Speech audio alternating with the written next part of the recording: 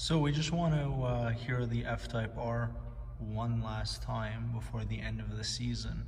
So let's get it started up and do a little startup video here.